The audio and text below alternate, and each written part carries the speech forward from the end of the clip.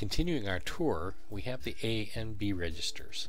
For the most part, they're general purpose registers that can be written to or read from.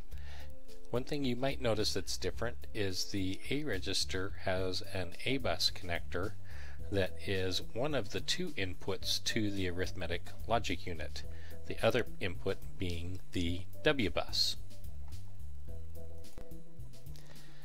One thing that shouldn't be overlooked is the W bus is terminated here with a terminating resistor to ground. Um, continuing looking at the arithmetic logic unit, uh, we have an adder and a subtractor and uh, some carry logic here. I'll explain that in just a minute. Um, one of the things that Logisim wouldn't let me do is uh, connect these two carry outputs together. So they have to go through this multiplexer, which is um, controlled by the uh, ALU subtract control line and uh, that determines whether we get an addition or a subtract operation out of the ALU as well as uh, the carry flag from whichever operation we're doing. So that uh, information is uh, also sent out to this uh, 8 input NOR gate uh, gives us a, a, zero flag output. We get our carry output. Um, we just bring out the eighth bit of the data to indicate a sign flag and all of that gets latched when we toggle the ALU out control signal. So that gates this um, 8 input uh, gate for the data onto the temp register.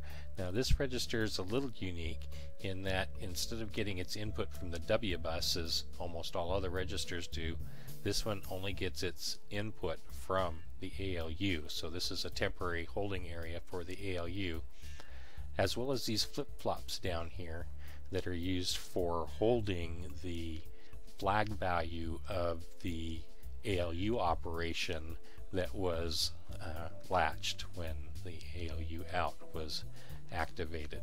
Uh, again, we've got uh, LEDs here to indicate the values that are held in the register and latches and uh, in this case when we do an output from here uh, at least from this data register it does go out onto the W bus and uh, that's how we can transfer the results to uh, wherever we need it to go.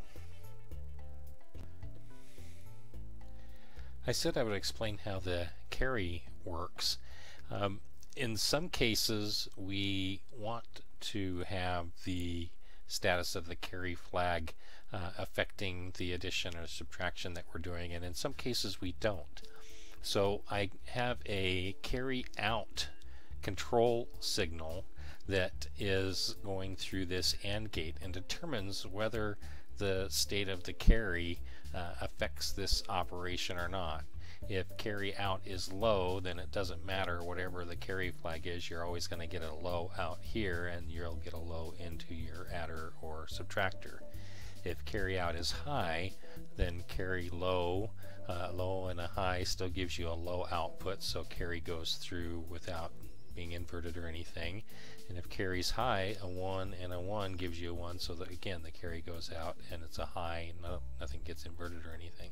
So this is a convenient way to gate whether you use the carry flag in this operation. And it, it it's kind of like a catch-22, the timing, you have to be careful to get it right so that uh, you latch the status of the carry flag in first and then you can use that carry flag uh, as a condition for the next operation.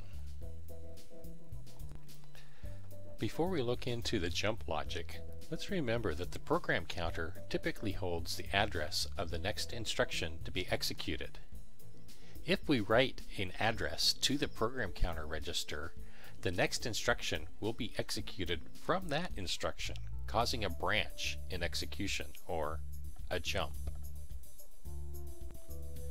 Unconditional jumps are useful, but in many cases we'd like to control whether the jump happens or not. The jump logic below allows us to do just that. The three control lines carry out, zero out, and sign out determine which of the three flags we'd like to use in our condition. If none of the flags are set, a regular unconditional jump is allowed to go through as well. Here we see the ALU carry, zero, and sign flags being brought in, and we have a flag invert control signal. This allows us to invert the status of any one of the flags and allows jumping on carry, not carry, zero, not zero, plus, or minus. All of this leading up to whether or not the jump signal is generated based on the condition of the flag.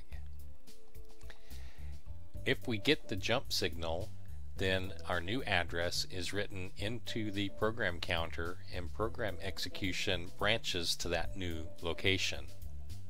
If the condition is not true, then the jump signal is not activated and the program counter is left as is, fetching the next instruction in sequence as it normally would have. All of this content is available on my GitHub repository.